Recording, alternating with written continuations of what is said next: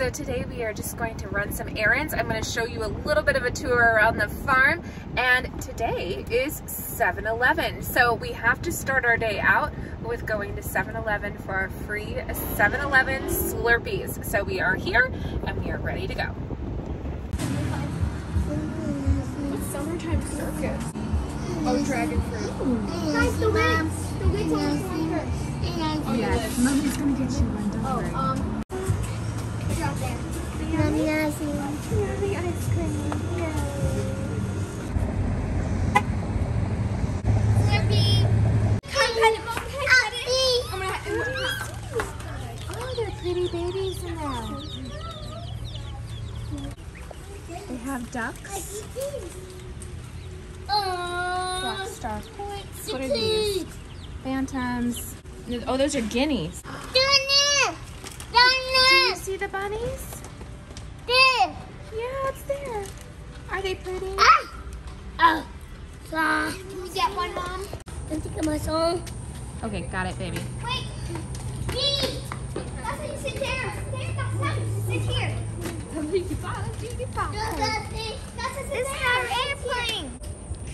Thank you, baby. You're awesome.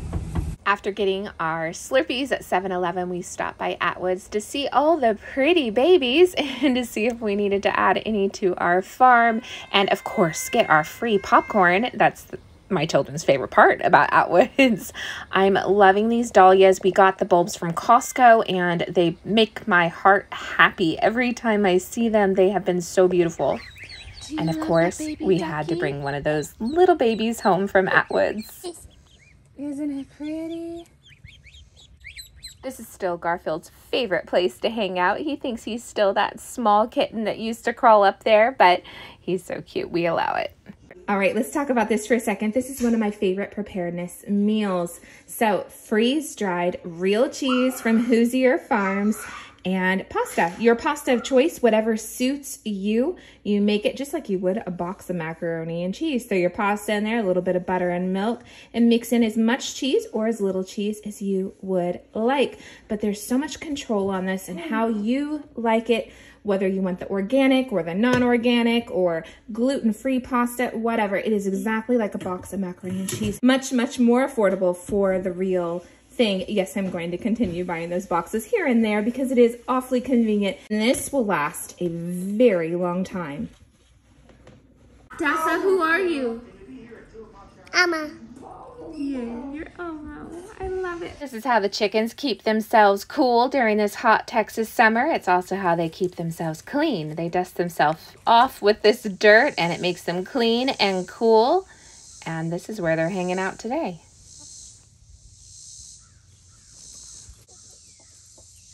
I don't think we've talked about this yet, so let's talk about it. One morning recently, it was raining very hard, and then I heard a huge boom, and the room lit up red. And I came out here, and lightning struck my tree. It struck my beautiful evergreen tree, my cedar tree. Of all the trees here, it could have struck. Of course, it struck the most beautiful one, but it's it split it right in two. So it was quite the noise. This poor, beautiful tree. We talked about taking it down, but I think for now we're going to leave it and see if maybe it regrows. I've seen that happen on some of these trees. I don't know, but it smells like fresh cedar out here this morning. you can smell it. And when it first happened, it was actually quite warm to touch. No fires, probably because of all the rain we've been having, but yeah, look at this poor tree split right down the middle. It's just such a shame, but this wood is beautiful. If we do take it down, I'm going to be sure to mill this wood. It's so smooth and beautiful. I love it. Onto the garden to see what's happening. I am deadheading these marigolds. That's where you pull off the dead heads and you bury them. They're full of seeds to grow some more marigolds. You also can save them. I like to make sure they're fully dried out and throw them in a mason jar and label them for next year. Also digging up the last of those potatoes. These taste so different than a store. Mr. Turkin coming over to check out what I'm doing. They have not bothered my garden at all, so knock on wood. Look at our grapes. We are so excited about this. This is the first year we've had grapes. I planted these last year, and now this year they are just full of all the grapes. Looks like they're going to be green grapes. It said mixed variety when I bought it, so I wasn't sure, but I think they're going to be green, and they're doing so well. My petunias are starting to die off a little bit in this extreme heat. My garden bed, I have some bean plants. I have some calendula down here. I have all the sunflowers sprinkled in, more marigolds. I have radishes coming up and some cosmos and more radishes, another sunflower. Then over here, I'm super excited about this. This is a little bit of rhubarb coming up. This will be my first time with rhubarb. It is a perennial, and everywhere you see these sticks, this is where I've planted more rhubarb and asparagus. Over here in the main garden, I've planted some late season cantaloupe there and over there. I'm not sure if that will fruit in time, but it's a little bit of an experiment. We'll see what happens. Here are some more bean plants. They're doing okay. Then we have all the okra as per the usual. It's something that is just so easy to grow in Texas. It does really well in the hot heat. However, we've had the most unusual year. I don't have my scissors, so we're just going to twist this off. It has been an unusual year. We've had so much summer rain. I've battled some different bacterias and funguses with the humidity and all of the heat. Our watermelons are not fully developed yet. Last year, this time, we had so many watermelons. I have all of the watermelon plants. They seem healthy. They're growing. But over here I have a Howden pumpkin plant. It's those big orange pumpkins. You can see where it's struggling with brown spot from the humidity and the heat. It will be okay. It's all going to be okay. It, it'll keep on growing, but it's something that has affected a lot of my plants this year. Over here, the acorn squash is doing great. I have all the little baby acorn squashes. Really excited about that. I love acorn squash. They'll be ready just in time for fall or a good solid harvest by the time fall comes along somewhere over here, I know I have several Howden pumpkins. There's one growing right there. Hopefully it keeps. I've had a couple fall off with all of just this bacteria. Like I said, it just mildewed and fell off. But it seems to be doing okay now. Every time one of these squash plants gets big, I throw it over the trellis. See, here's one that has become rotten and you want to pull those off and throw them out because pests are attracted to the rotten things and I don't want any more pests than I already have over here. So I'm going to throw that away. Underneath all of these leaves somewhere, I have a almost ready acorn squash. It'll be the first acorn squash of the season, so I'm excited about that. There it is. Yay. And these are so easy to keep throughout the winter. They really just keep well in a cool room. Then I feel like this is the year of the squash. the squash has done so well this year. We've already eaten lots of our butternut squash. Here's some hanging here that's almost ripe, but not quite. You can tell because it turns that peachy orange color and that stem will go completely brown. And then we have all of the little baby ones on here just so much butternut squash. I'm so thankful. It's like every year there's just one plant that seems to be the plant that does really well. And this year, it's butternut squash. Definitely not watermelon like last year. Although I'm still rooting for that watermelon to pull through.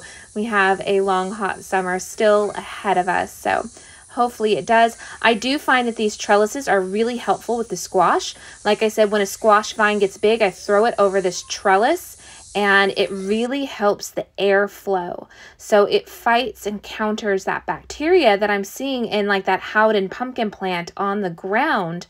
Um, I need my third trellis over there to throw that up over a trellis too. When there's more airflow, there's just less likely for those damp leaves to contract anything.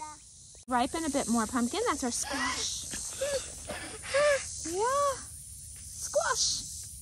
Squash.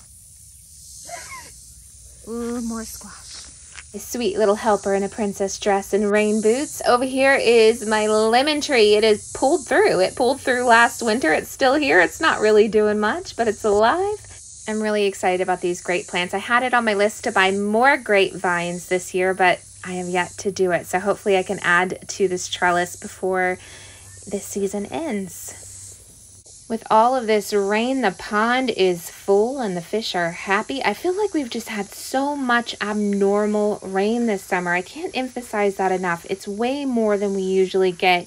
And while I usually like rain, I'm kind of ready for that hot sun to dry out some of these plants and to get rid of the humidity. I hate the humidity. I can stand the heat. Then, if you remember, I think it was in the last garden tour I gave. It's probably been a month to six weeks ago. I'll link that below if you're interested in that. I went and dug up about 50 squash plants from this cow field that my cows planted for me.